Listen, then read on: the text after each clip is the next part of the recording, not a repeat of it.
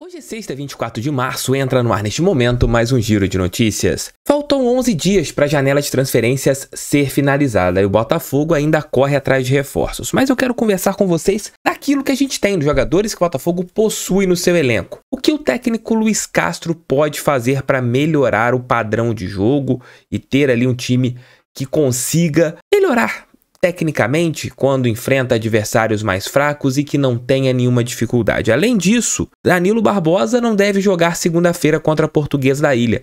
Será que nós teremos de volta Lucas Fernandes e Eduardo jogando juntos e com isso o Botafogo ter mais qualidade técnica? Tudo isso dentro desse nosso giro de notícias que está em nome de Estrela Bet. Se você curte dar o seu palpite em diversas modalidades esportivas, na Estrela Bet é o seu lugar. Lá é muito simples, é um site intuitivo onde você vai clicar ali no, link que está aqui no primeiro comentário e vai escolher aquela modalidade que você mais gosta. E a partir daí, você vai poder palpitar à vontade, gente. Palpitar é aquilo que a gente mais gosta, né? Eu gosto de dar meus palpites em relação a tudo na vida. Se você gosta até daquele programa lá da, da Globes, lá, que muita gente não gosta, você pode palpitar lá também. Se você quiser palpitar no jogo do Botafogo segunda-feira, você pode palpitar no jogo da seleção brasileira. Amanhã tem jogo da seleção brasileira, muita gente não sabe. Você também pode palpitar na partida da seleção Canarinho. Link para você dar o seu palpite aqui embaixo no nosso primeiro comentário. Entra na Estrela Bet, eu tenho certeza que vocês vão curtir bastante aqui, ó. Estrela Bet, parceira do canal do TF. Link no primeiro comentário. Palpitem! Palpitem com moderação.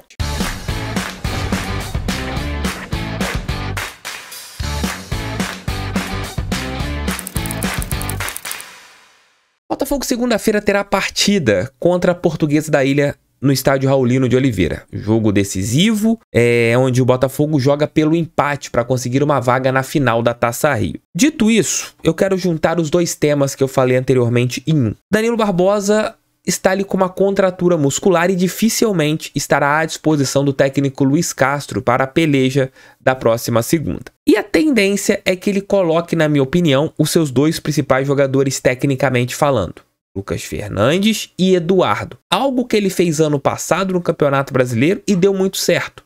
Tietê, Lucas Fernandes e Eduardo. Este era o meio-campo alvinegro. E nas últimas duas partidas, o Lucas Fernandes foi banco e quando o camisa 18 entrou, o time melhorou muito, até mesmo pelo dinamismo e por tudo que esse atleta entrega. E particularmente, eu acho, e até mesmo conversando com outros jogadores que foram até lá no resenha com o TF, o Chay uma, e, o, e também o Marçal, eles colocaram o Lucas Fernandes como principal jogador tecnicamente falando do Botafogo, e você também conversa em off com alguns, também isso é colocado. E eu não vejo como o Lucas Fernandes ser banco nesse time do Botafogo. O Lucas Fernandes tecnicamente sobra, é um jogador jogador que tem qualidade, é um atleta que consegue pisar, distribuir o jogo, é dinâmico, consegue se movimentar por toda a parte do meio-campo. E eu acho que esse é o grande ponto que o técnico Luiz Castro tem que fazer: voltar a colocar aquele meio-campo que funcionava no passado com Petit, Lucas Fernandes e Eduardo. E aprimorar esse, esses, esses jogadores. Dar tempo para esses jogadores. Porque eu vejo estes como os principais jogadores do Botafogo no meio-campo. E você não pode abrir mão daquilo que você tem de melhor.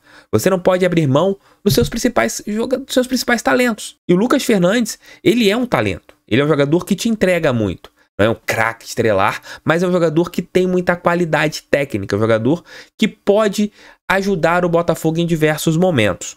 E o Eduardo nem se fala. Ainda está em busca do ritmo de jogo, né? Ele fará sua terceira partida depois da volta da sua lesão e é um atleta que estará ali no seu ponto de bala, talvez na estreia do Campeonato Brasileiro. E o que o técnico Luiz Castro tem que fazer, TF, até a estreia do Campeonato Nacional? A gente espera nesses próximos 11 dias o Botafogo finalmente contrate jogadores. A expectativa ali das negociações que estão acontecendo, semana que vem será muito importante para você avançar em algumas coisas. O Botafogo pode ter finalmente reforços sendo contratados e ali negociações indo para a reta final, é isso que a gente espera. E a partir desse momento, o que nós temos a entender sobre o Botafogo? Que é um time que o Luiz Castro ele talvez possa tirar mais dos jogadores que nós temos. Isso a gente já falou várias vezes. E o que ele deveria fazer, pelo menos nessas três próximas partidas, né? De segunda contra a Portuguesa e as finais da Taça Rio. eu acho que firmar jogadores, firmar ali, primeiramente, esse meio-campo que eu falei anteriormente. Infelizmente, se a gente não conseguir os efeitos suspensivos de Marçal e também de Tiquinho Soares, o Botafogo terá Hugo e Matheus Nascimento nessas próximas três partidas. Então você não terá esses jogadores jogando, né? Os titulares, Marçal e Tiquinho. Mas ao mesmo tempo eu acho que ele tem que definir. Eu acho que ele poderia dar uma oportunidade para o Luiz Henrique começar uma partida, já que é um jogador que tem entrado e tem tentado. A gente não pode, a gente pode até questionar se o Luiz Henrique tem é, jogado bem, se tem jogado mal, mas é um menino que tem se dedicado. Talvez ele mereça uma oportunidade pelo, pela ponta esquerda. O Vitor Sá não está jogando bem, é um atleta que teve ali boas partidas, mas de novo voltou para aquele modo Vitor Sá que vira um jogador burocrático e dá ali uma outra jogada, acerta uma outra jogada e depois não funciona. E tem o Carlos Alberto, que é outro jogador que também oscila muito. Eu faria, o que eu faria, já que o técnico Luiz Castro parece que com Piazon ele pensa em reforçar o lado direito, eu colocaria o Vitor Sá pelo lado direito, como ele colocou ano passado em algumas partidas, até mesmo para ajudar aquele setor.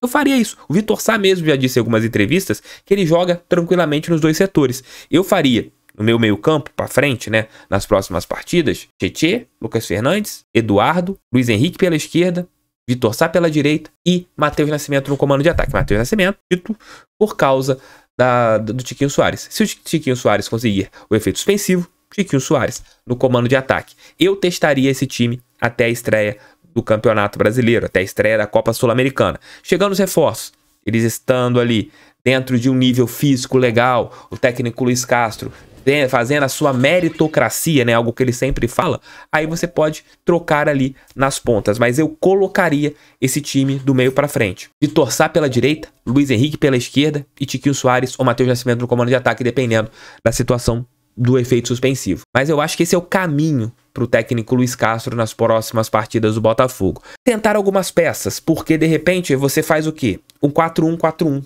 né? Na, na maneira de atacar. Você colocaria o Tietchan entre linhas e você armaria com o Lucas Fernandes ou o Eduardo por um lado, com ponta, e você teria a possibilidade de triangulações ali, com os laterais passando. Você faria um time mais compacto com esses jogadores. Eu gosto muito do Danilo Barbosa, Danilo Barbosa tá fora. Eu gosto muito do Tietchan até jogando uma, um passo à frente. Mas você não pode abrir mão do Lucas Fernandes no time. Se você quiser colocar o Lucas Fernandes até aberto para você ter um, um ponta construtor, Pode ser isso também, é uma possibilidade. Mas sem o Danilo Barbosa, eu iria de Tietê, Lucas, Eduardo, Vitor, Luiz e Tiquinho ou Matheus. Esse seria meu time. Eu acho que seria uma maneira da gente ter um time muito mais incisivo. E é o que tem faltado no Botafogo. No segundo tempo contra a Portuguesa da Ilha, mesmo com o time jogando mal, o Botafogo criou mais oportunidades porque teve jogadores mais incisivos dentro de campo. Então, é assim eu vejo, é assim que eu enxergo e eu, eu acredito, né, que o Botafogo ele possa melhorar bastante com esses jogadores, atuando com essas peças nas próximas partidas, até mesmo para dar um corpo para o time. Eu acho que o Luiz Henrique está pedindo oportunidade e eu daria uma oportunidade para ele nessas próximas três partidas. E o Vitor Sá eu colocaria no outro lado, colocaria pela ponta direita, até mesmo porque ele funciona naquele setor. Eu faria isso. Eu não sou técnico, né? Que é o técnico é o Luiz Castro. Eu sou um jornalista que dou meus palpites e eu quero saber opini as opiniões de vocês aqui embaixo. Deixem um like, inscrevam-se, compartilhem mais dois vídeos aqui. Ali por volta de duas horas estarei de volta com o nosso almoço com o TF. E à noite, Noite Alvinegra. E lembrando que lá no Resenha com o TF hoje é ao vivaço, 20 horas, bate-papo com Eudes Pedro, ex-auxiliar técnico do Cuca, hoje técnico do Resende. Vou perguntar pro Eudes Pedro, será que eles vão pegar jogadores do Botafogo pro time do Resende para jogar Série D? Vamos ver se solta alguma coisa lá. Tamo junto. O especial vai ser aqui. Vou gravar aqui na região. A partir dessa semana, teremos a de 15 em 15 dias, pelo menos, o um episódio gravado com pessoas aqui da região, né? Da região sul-fluminense. Futuramente, Thiago Pereira, que foi campeoníssimo na natação. Ex-jogadores, né? Que atuaram em grandes clubes e moram aqui na região sul-fluminense e que não estão tão assim aparecendo recentemente. Vou também levá-los no Resenha com TF. Então, tem muitas, muitos bate-papos interessantes aí em breve lá no Resenha com TF. Beijo, tchau e fui, tamo junto, valeu!